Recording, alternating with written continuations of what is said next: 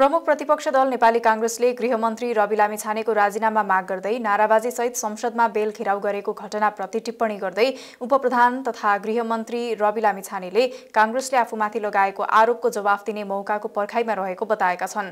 सदनमा काङ्ग्रेसकै कारण बोल्न नपाएका गृहमन्त्रीले सञ्चारकर्मी माझ आफूमाथि उठाएका सबै आरोपको जवाफ मौका पाउनासाथ सदनमा दिने बताएका हुन्।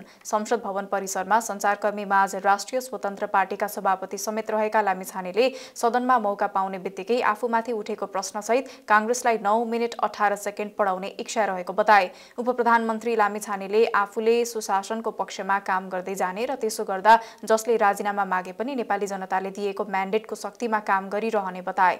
उनले सुन तस्करीमा संलग्न जो कोहीलाई कारवाही हुने र त्यसको प्रक्रिया आजैबाट सुरु गरिएको पनि बताए। उपप्रधानमन्त्री लामिछानेले भने भित्र त संसद बैठक काङ्ग्रेसले अवरुद्ध गरे जस्तो देखिएको थियो। यहाँ आइपुग्दा हामीले गरे जस्तो देखियो। हामीले गरेनौँ। यो उहाँहरूलाई लागेको हो। केही छैन उहाँहरूले भन्नुभयो। संसदमा विधेयक नै प्रस्तुत गर्न नदिने कानुन नै बनाउन नदिने भने त के गर्न सकिन्छ र? जवाफ दिनका लागि तयार नै छु। जवाफ सुनेपछि उहाँहरू बेहोस हुने हो कि थाहा छैन। कानुन बनाउने प्रक्रिया त रोक्नु भएन नि। कुन कुरा सडकमा गर्ने कुन कुरा सदनमा गर्ने भन्ने कुरा नेपाली काङ्ग्रेस जस्तो इतिहास बोकेको लोकतान्त्रिक दललाई भर्खरै आएको दलले पढाउन सुहाउँछ। हामी पढाउँदैनौँ। काङ्ग्रेसले आफै पढोस्। डेढ वर्ष अघि आएको पार्टीले यो सिकायो। हामीले सदन चल्न दियौँ प्रश्न सोध्यौँ प्रश्नको जवाफ चाहिन्छ भन्यौँ हामीले आफ्नो काम गऱ्यौँ हामीले सदन नचलेको दिनमा सदन चल्नुपर्छ भन्यौँ। सदन नचलेको दिनको पैसा लिँदैन भन्यौँ।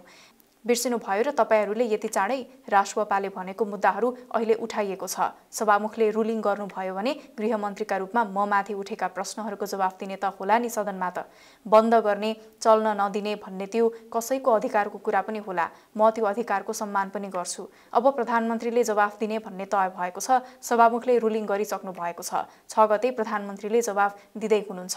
अब मलाई सभामुखले रुलिङ भएको एकछिनमा नौ मिनट अठार सेकेन्डमा यो सबै कुरा कुरा क्लियर गरिदिन्छु यो अवरुद्ध पार्ने काम गलत हो। कानुन पास गर्नुपर्छ भन्ने कुरा हो। मलाई लाग्छ एउटा कुरामा अडिरहनु हुँदैन। त्यसका लागि प्रक्रिया छ नि त। जवाफ दिन तयार छु। सभामुखको रुलिङको प्रतीक्षा गरिरहेको छु। त्यो आयोगले प्रतिवेदन बुझाएको छ। बुझाएको प्रतिवेदनमा मेरो हात पर्ने बित्तिकै त्यसलाई अध्ययन गरेर प्रधानमन्त्रीलाई बुझाएर र प्रधानमन्त्रीले गो अहेड जे छ त्यही भनिसकेपछि यस सम्बन्धी कुरा अगाडि बढेको छ। कहीँ कतै कसैसँग कुनै कम्प्रोमाइज हुँदैन। आयोगले दिएको प्रतिवेदनमा भएका विषयवस्तुमा टेके सकेर रिइन्भेस्टिगेसन हुन्छ ज जसलाई उन्मुक्ति दिन खोजिएको छ उन्मुक्ति दिनेहरूमाथि पनि कारवाही हुन्छ। उन्मुक्ति पाएकाहरूले केही समय रमाए होलान् कोही रमाउन पाउँदैन कोही छुट्दैन काहीँ कसैले प्रभावित पारेको छ भने त्यसलाई निर्ममतापूर्वक घेरिनेछ। म कति दिन गृहमन्त्री हुन्छु भन्ने मलाई थाहा छैन तर मेरा लागि आजको दिन अन्तिम दिन हो भने पनि म आज आफ्नो तर्फबाट गर्नुपर्ने काम गर्न प्रतिबद्ध भएर आएको छु। केही गरौँ भनेर केही राम्रो काम गरौँ भनेर सुशासनको प्रत्याभूति दिउँ भनेर आएको हुनाले त्यसमा मलाई केही पनि भन्नु छैन। निर्मम ढङ्गले प्रतिवेदनले दिएका विषयहरूमा हामी कारवाहीको प्रक्रिया अघि बढाउँछौँ। आजैबाट सुरु हुन्छ काङ्ग्रेसले जवाफ पाइरहन्छ। हामी सुशासनको पक्षमा बोलिरहन्छौँ।